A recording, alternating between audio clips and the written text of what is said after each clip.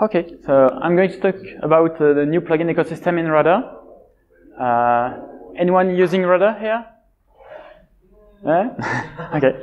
So for the one using, you will, may find new features, and for the one who are not already using Rudder, you may find reason to use Rudder. I hope. yes. Okay, so uh, just uh, first uh, we'll go to, we're going to see uh, what plugins are, how they work, what they can do in Rudder. Um, so a plugin is just an extension of Rudder, and uh, we created a new package format for this plugin. Well, we didn't create it completely from scratch. We reused what existed, and uh, it can be installed on Rudder server on or on Rudder relays. Um, so you never have to install plugins on the agents because uh, if it's the case, the agent will automatically download what they need from the server. And you can extend anything in Rudder. So how does it work? Well, there are two kind of plugins. Uh, here's the, the, the how Rudder works. And uh, you can have the nodes. You can have node that point to relays and relay that point to the Rudder server, or you can have node that point directly to Rudder server. And there are different kind of plugins. There are plugins that are integration plugins. They are made to make Rudder talk with something else. There are feature plugins that are made to add new feature to Rudder and to extend uh, how it works precisely.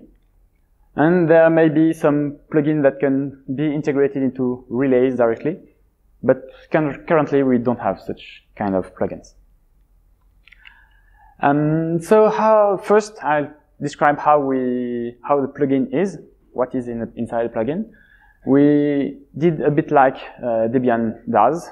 So a plugin is just an archive file, so you can extract easily uh, metadata from the from this file. It's just one command, and you can have everything that was from the file. And in the file, there's also uh, a list of scripts that are triggered automatically during installation, removal, and uh, before and after insta installation and removal. And every file that are needed for the plugin to work uh, in a, di different uh, archive that is within the main uh, archive.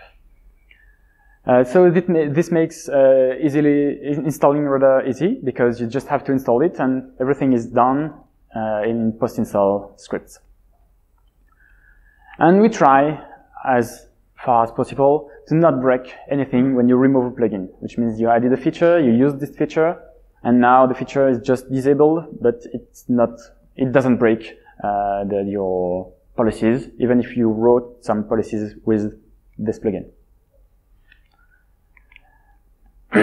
Packages are generated directly from our source code, and uh, you can install with this command so this command is provided with Rudder, and you just install the file and it installs the plugin directly. You still have to download the plugin manually. Uh, we don't, we haven't written yet a real package manager that does everything for you. So it doesn't go and download the plugin and does everything. You have to do it by yourself. And dependencies are not yet managed automatically. Uh, we know the dependencies, so we print them in, uh, during installation, but you have to install them. Um, since Rudder is made for this, we, know, we have what we need to, to do this, to install dependencies.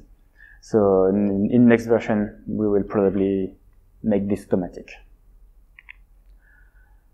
A plugin have a version.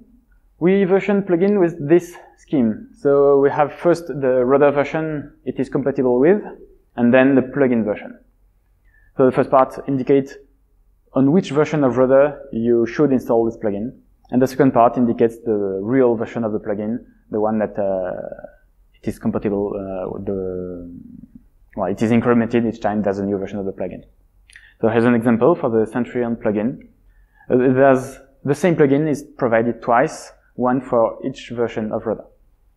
So this is the same plugin, just a different uh, version. Some plugins are completely free, the GPL, especially every plugin that integrates Rudder with uh, free software, of course. And some plugins are not free because, for example, we integrate with proprietary plugins, with proprietary OS, So we, to add those kind of support, we, uh, we have not made completely free plugins. And some plugins are not free, uh, but are featured, and uh, that they are dedicated to big players. Um, plugins that are not free need a license, so you have to install a license, download it, and uh, so just comment us if you want a license, if you want to try one plugin, and uh, we'll be happy to, to deliver a demo license. So just a quick note, uh, the plugins are not uh, plugins and every Rudder package are now uh, available at repository.rudder.io. Uh, it was not the case before. I think Alexi uh, talked about it earlier, so I won't extend too much. It contains everything that can be downloaded uh, at Rudder. So let's go into the different plugins we have. Um, first, uh, the, the, the, feature plugin kind. Um, there will be more of them. So to report, customize, etc. Uh, so the first one, the reporting plugin. The reporting plugin is a way to store and archive historical data uh, from Rudder. So Rudder have and presents you um, mm, data from uh, every agent, combine them, and you can read them, you can have access to them, but you don't have access to the old results um, because it's a lot of data. So we made a plugin that keep an history of, the, of this data and you can extract it and make a proper report that you can easily export to PDF or you can view, you can customize the report. And so you can have the, the real uh, data you need uh, using this plugin. It's, for example, if you want to show your, your boss that uh, you are working properly, or if you want to show that uh, why something happened last week, uh, you can have the, the report that tells you that this machine or this rule has broken last week because of something that is in this report. And you can have a history of everything that happened on your platform. So here's what it looks like. So you first have uh, the history of the compliance. This one is not very good. I uh, hope you don't have this one. And uh, here's the, the history of what has changed on your platform. You can filter this. You don't have to, to have everything, of course, because it can be very long. But you can filter some very interesting parts and uh, have them just in, uh, in your report. Um, another plugin is customization plugin. You can customize Rudder look and feel. Um, it's a bit, uh, you cannot customize everything. You just customize what it, uh, what the login page looks like and what the header of Rudder looks like. This is more intended to, to make Rudder, to make uh, the user know which version of Rudder he is using. For example, if you have a development environment and a production environment, you can differentiate them and at first look know where you are and, and know on which environment you are. So here's what it looks like. So you just have a header somewhere here and a header everywhere in Rudder. Um, and you can have more messages and some in, within Rudder. Um, another plugin, you can uh, give access rights, specific access rights to users in Rudder. And you can give access rights for, well, for people, for scripts, so for access via the API and access via the web interface. And you can have named uh, token, so you can uh, attribute access to script that uh, run on behalf of a user.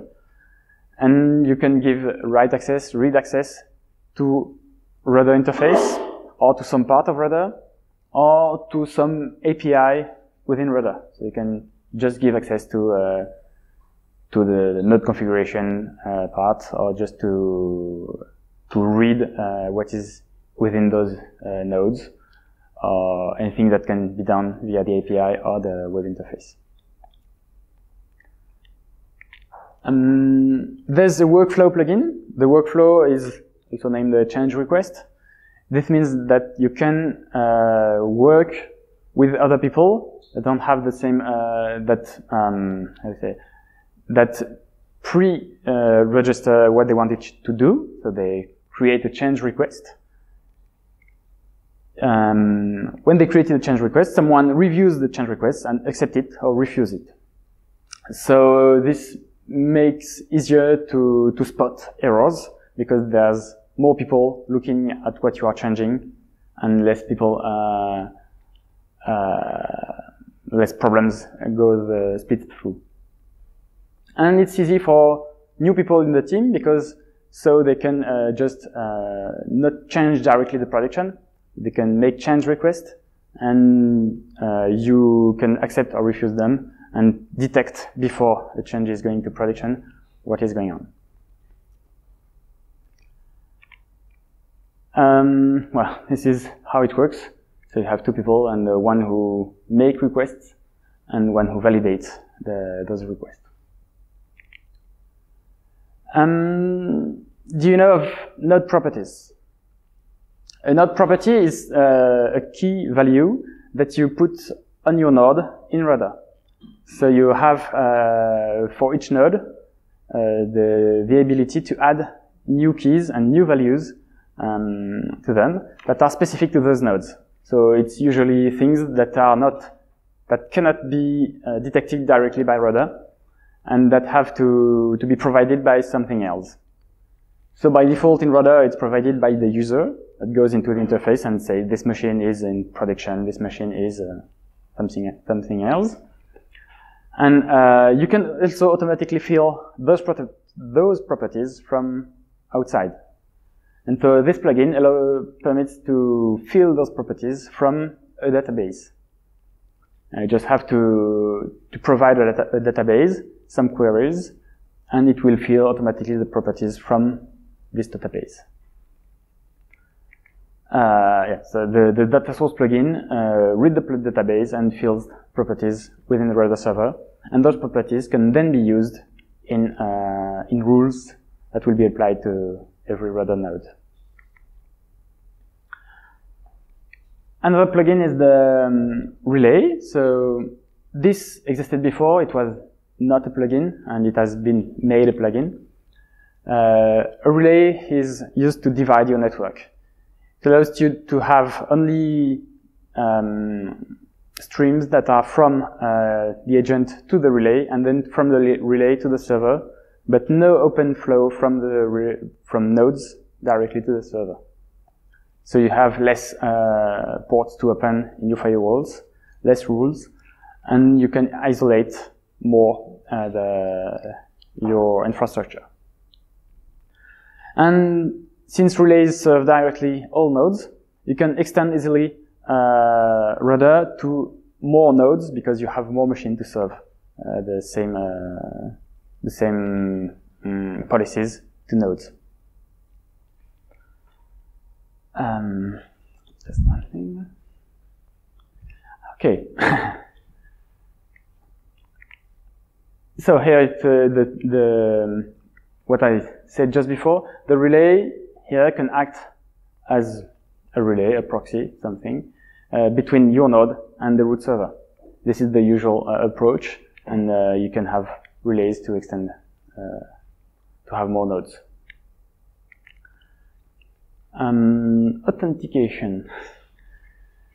Uh, you can have external authentication, you can have uh, users in Rudder, and uh, users can be defined either in uh, the usual uh, file, as has been done before, and you can authenticate uh, the user from an LDAP or from an Active Directory, or from Radius, just in case, in, in case you have one, uh, into into Rudder. This is this was before in Rudder, within Rudder. So if you, you, if you are going to upgrade from Rudder before 5 to Rudder 5, you have to be very careful of this because this becomes a plugin and you have to install the plugin to, to have the feature. And so if you don't install the plugin when upgrading to Rudder 5, you may not have your users anymore. Well, you still have the users that were in the file, so you still are able to, to use Rudder, but the, the user that were in LDAP before are not uh, available anymore. Um, okay, so we have uh, three kind of uh, authentication now. Well, you can authenticate you through LDAP, through Radius, and through Active Directory, which is a kind of the same as LDAP.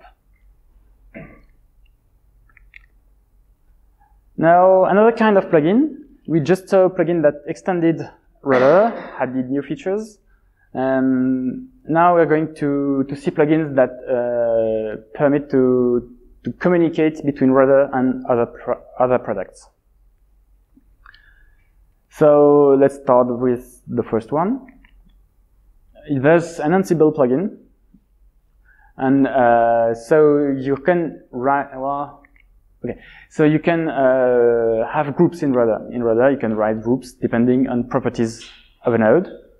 So, or depending on the inventory of a node.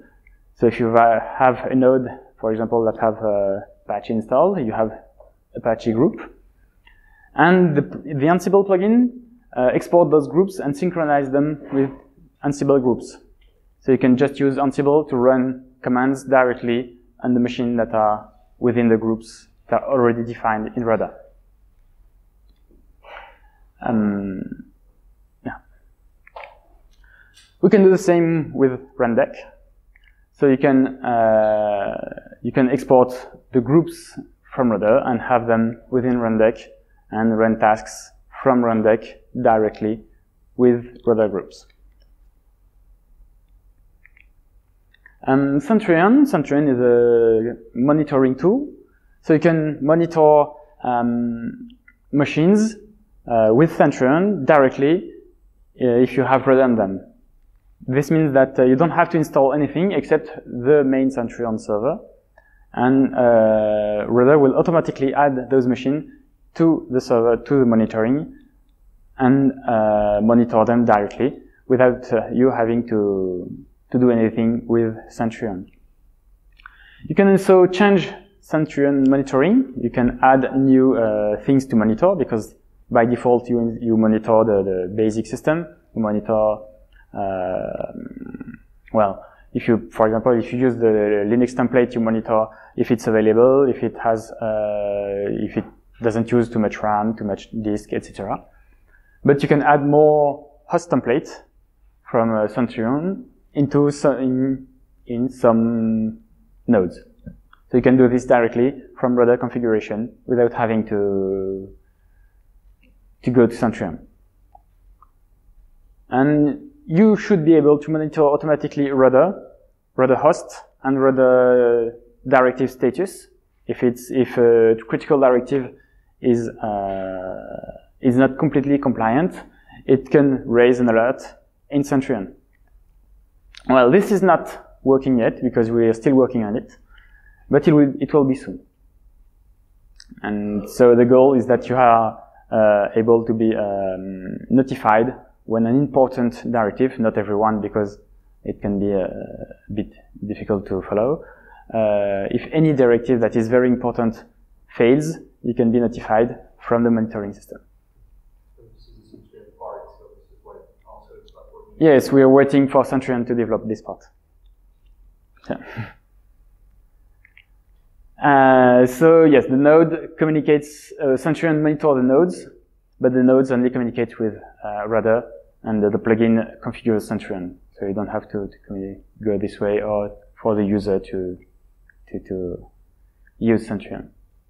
Well, it has to, to, to show the, the results, but we can do the same with Zabbix. So you can manage uh, all the machines uh, in Zabbix. You can monitor a machine in Zabbix uh, via Rudder. So Rudder just adds the machine to the Zabbix and uh, add the, is it called templates too? Yes, in Zabbix uh, from Rudder. So it's the same way to work. Uh, we don't have the, the Rudder monitoring part in, in Zabbix for now. Uh, not exactly the same problem. It's neither us nor them that are going to develop it, but we don't have it yet. Um, GLPI, I don't know if you know GLPI. It's uh, okay. It's an inventory tool. Um, you can have an inventory of everything you have uh, in your platform.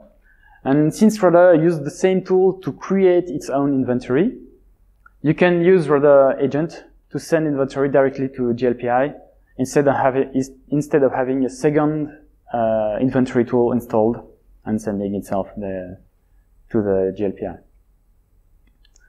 So the goal is just to, to simplify uh, integration with uh, GLPI. But if you use GLPI to install package, thing that uh, Rudder can do, but uh, if you still want to use GLPI for this, you still have to install the GLPI agent. agent. So yes, again, there's no link here. I think we can see. There's no link here, so the, the agent directly talks to server, and it's the server that, send, that sends the inventory to GLPI. So there's no link here anymore.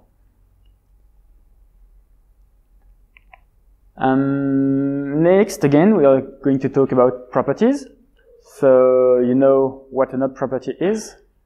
Um, so ITOP is a configuration management database. It means that it's here to, to store and to get information about your configuration, which means uh, everything you have in your platform and how it is uh, installed, what is physically in them. And you can also have a lot of information that is business information about those machines. So you have a lot of information that Rudder doesn't have. So we made a plugin to be able to synchronize some information and take some information from ITOP to put it into Rudder. So you can have, you can have properties for all the machines you have in Rudder that are not coming from technical information, but for, from uh, information that has been filled into ITOP by another way. And ITOP has a lot of uh, source of information that are that's available to it. And so ITOP uh, also collects some information from Rudder to make it available to people uh, doing something else. So by example, they can import the list of directives that are applied to a machine uh, to know what is configured. Um, yeah, that's similar. Here, and ITOP, what's not written here is that ITOP has a lot of other arrows pointing to many other softwares to collect data and to send data to many other tools. So ITOP is often viewed as a, as a central data repository about your machines. Um, ServiceNow. ServiceNow is also a configuration database. And again, uh, we use it to create node properties from information that is stored uh, remotely in ServiceNow. And you can fill automatically th those properties from, uh, from ServiceNow.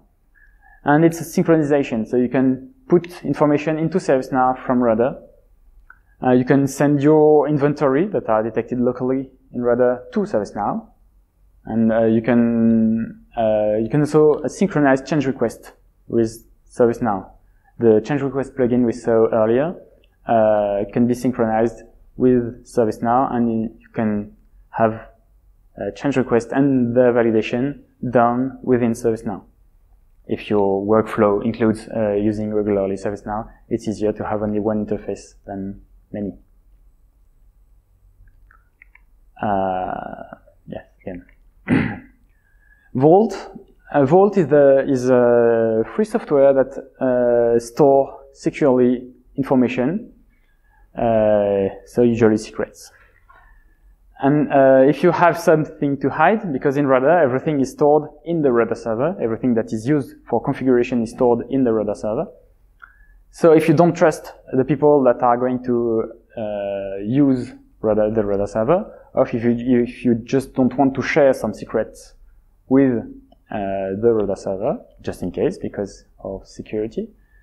You can hide those secrets within Vault and uh, ask Rudder to retrieve them just when it, when it is going to use it. So on the node, when it is going to use some properties, it is going to take the information. So Rudder configures the node and the node talks to Vault to take, uh, to retrieve the secret it needs.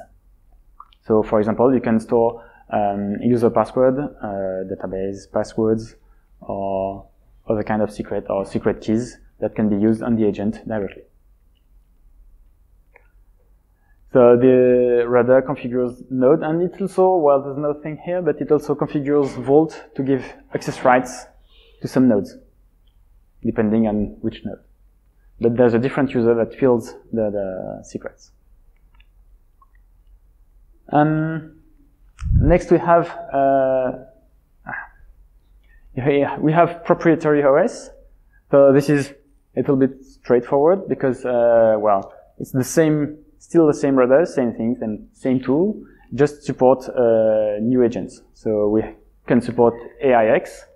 AIX is not very difficult to support because it's the it's Unix, and we were talking about Unix about Linux, so it's more or less uh, the same way to work to that it works.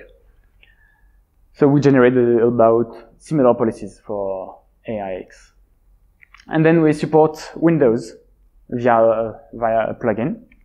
And as Alexis said before, it uses DSC and PowerShell, which is a Windows native uh, configuration tool. And so it's uh, integrated and provided with Windows with recent versions. Um, yes, so and the advantage of those plugins is that uh, you can use exactly the same uh, same rudder, same policy, same configuration for Windows and for Linux and for AIX. Um, so uh, those plugins were plugins that were already done, so you can already uh, use them, download them, or ask us uh, for a demo. And uh, but I'm going to talk about new plugins, plugin that we want to, to develop, but we didn't yet develop anything. So if you have any suggestion, you're welcome. Uh, we take for suggestion for any of those plugins or for any other tool you might want. Um, so first, CVE. Uh, we can have an integration with a CVE database. Already experiment, experimented that. So we can download automatically recent uh, exploits and know uh, from this database uh, what is the condition that makes a system vulnerable.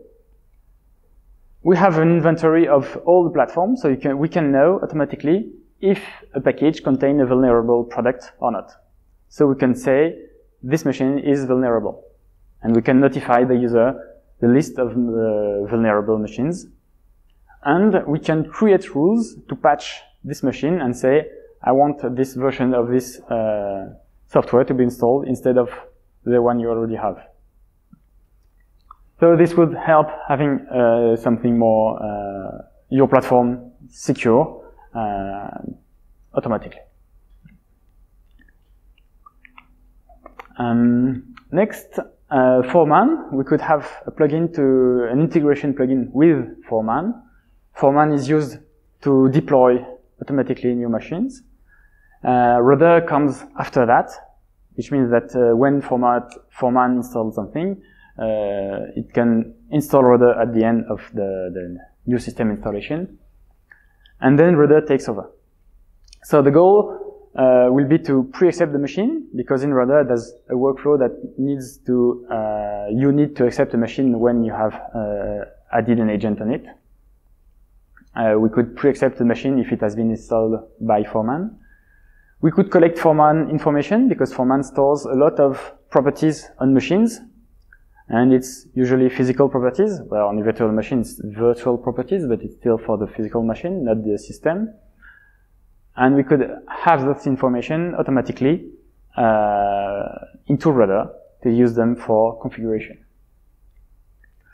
And we could synchronize the uh, machine lifecycle with Foreman, which was the goal uh, of the lifecycle from the beginning. It was to create different rules uh, on machines depending on the state of the machine. If it is currently installing, and currently uh, dying, currently uh, being um, uh, being removed. Uh, so you can have different state of a machine, and you could synchronize this state with Foreman. Um, Pulp, we could have a plugin to manage Pulp and to automatically manage uh, channels, uh, repositories uh, for by rudder, depending on the machine. The idea would be to, when you configure a new source of a package on a machine, automatically add the source and then add it to Pulp so that Pulp could synchronize it and put it in your network uh, directly. So you don't, you wouldn't have to configure Pulp to to use it. Um, it's not developed yet, so I think it will be the last one.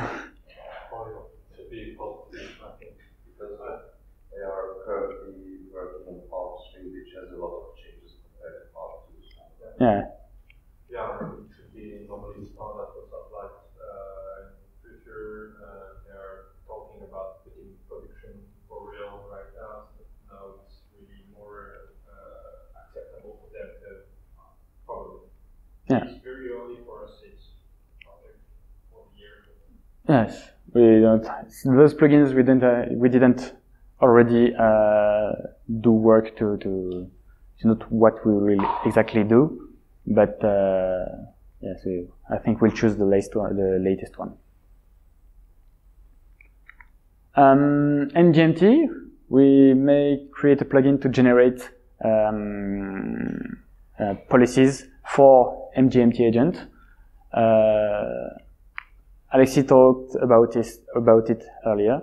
Uh, the idea is like we do for Windows and we generate uh, DSC policies, we could generate MGMT policies and have the advantage uh, benefits of uh, MGMT. For example, its reactivity, the fact that it's very fast, or the fact that it works on some specific machines. Um, and yeah, it's again, it's not developed yet. We just have. Uh, we are going to to to do a, proof of concept very soon, uh, but nothing yet. Um, OpenSCAP, we could uh, automatically uh, transform OpenSCAP uh, policies into Rudder policies. That would make us able to, to assess security based on existing OpenSCAP rules because already there's a lot of rules OpenSCAP that uh, exist that are already written and you, we could take those rules and make them available directly within Rudder uh, without effort if possible. Um, virtual agent. The virtual agent plugin is a notion of a, a new kind of agent that that wouldn't be really an agent, but uh, something that would act as like an agent on the behalf of someone else. So, for example, uh, the, a relay could act on the behalf of something that is behind this relay, because uh, we couldn't write a real agent for some kind of machines. So for an example, we could uh, have an agent for a network device. It would be very hard for us to develop a real agent that runs on a switch or on a router, but we could have some virtual agent that would just use the API to configure the switch or to configure the router, but from another node, from somewhere else. And we could have the same for VMware and probably for other tools uh, for, for which we couldn't write directly agents. Um, so again, it's something that we didn't try yet, but we have a few ideas on how to do it.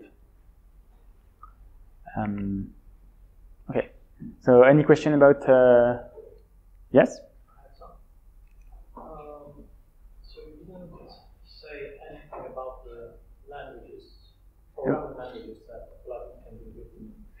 Okay, uh, it depends on the kind of plugin.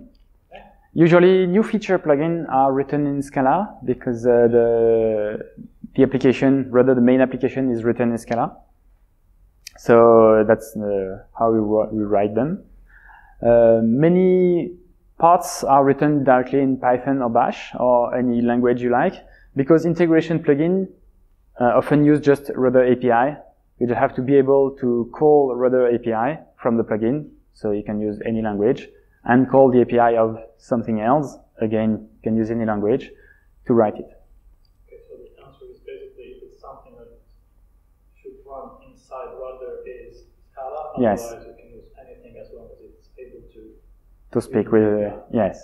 Um, then the second question is, uh, is there a definition, uh, I mean, documented definition about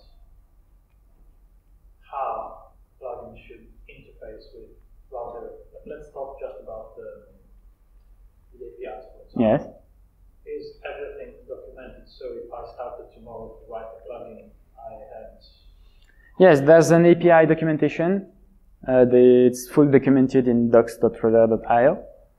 So you have access to the API. Uh, as uh, just a short, a short version is that everything you can do in Rudder interface, you can do it from the API. So you can do almost anything. Okay.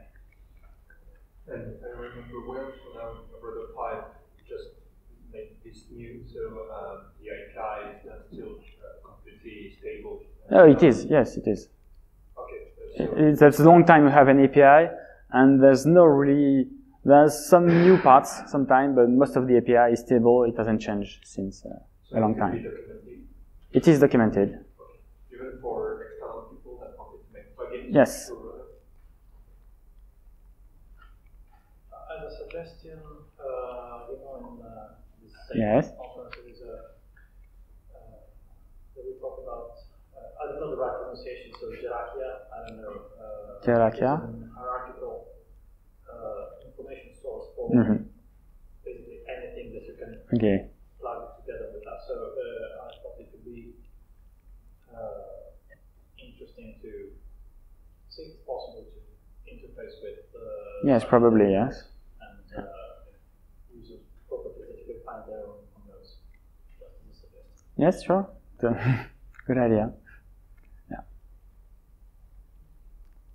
Any other question? Okay. Thank you. Have a question? Or?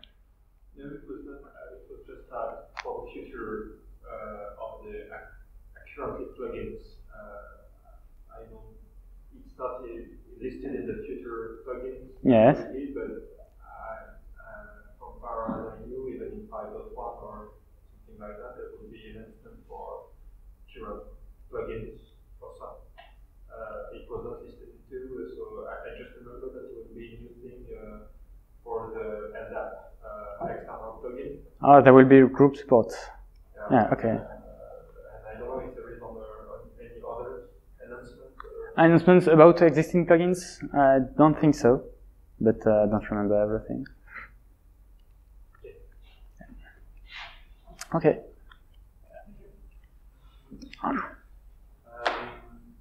written great